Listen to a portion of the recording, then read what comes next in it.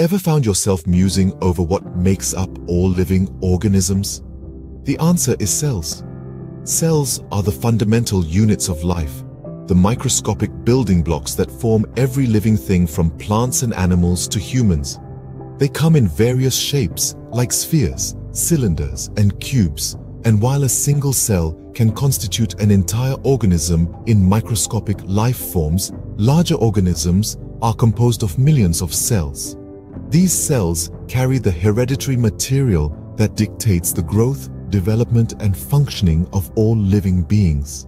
They're like tiny factories, performing metabolic reactions, producing energy, growing and dividing. The journey of discovery began in 1665 when Robert Hooke observed the walls of dead plant cells in cork under a microscope. Progress was made when Anton van Leeuwenhoek in 1674 observed living cells with a more powerful microscope. Later, in 1833, Robert Brown described the nucleus in orchid cells, pushing our understanding further.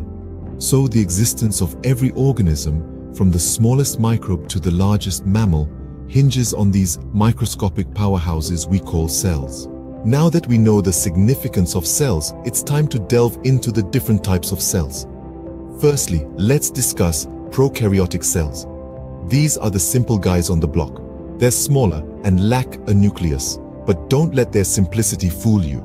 They're incredibly efficient, carrying out all the necessary functions for survival. A common example of prokaryotic cells is bacteria. These unicellular organisms are one of the earliest forms of life on Earth, and they play a vital role in maintaining our ecosystem. From breaking down waste to helping us digest food, they're the unsung heroes of the cellular world. Next up, we have the eukaryotic cells. These are the complex ones, larger in size, and they proudly house a nucleus. The nucleus is like the command center of the cell, containing the genetic material that directs all cell activities. Eukaryotic cells make up multicellular organisms like plants, animals, and yes, even us humans. They're composed of various specialized structures, each with its unique function. For instance, plant cells have an additional cell wall and chloroplasts for photosynthesis, while animal cells do not. It's fascinating, isn't it? The world of cells is diverse and dynamic, each type tailored to perform a specific role. From the simplest bacteria to the most complex human, we are all made up of these tiny, bustling units of life. Whether simple, prokaryotic, or complex eukaryotic, each cell type plays a crucial role in maintaining life. With the types of cells clear, we move on to the functions and examples of these microscopic units. Cells are the multifaceted powerhouses of life each with a unique role to play. They are responsible for energy production, growth, and division, among other vital functions. Let's shed some light on a few examples. Red blood cells, or erythrocytes, are the body's oxygen transporters. They carry life-sustaining oxygen from our lungs to every corner of our body and in turn carry away the waste product carbon dioxide. Next, we turn our attention to the brain where neuron cells reside. These specialized cells are the information superhighways of our body. They transmit signals to and from the brain, allowing us to think, feel, and interact with the world around us. Skin cells, also known as epithelial cells, hold the protective mantle. They shield our body from external harm, warding off harmful bacteria and viruses, while also regulating body temperature and sensation.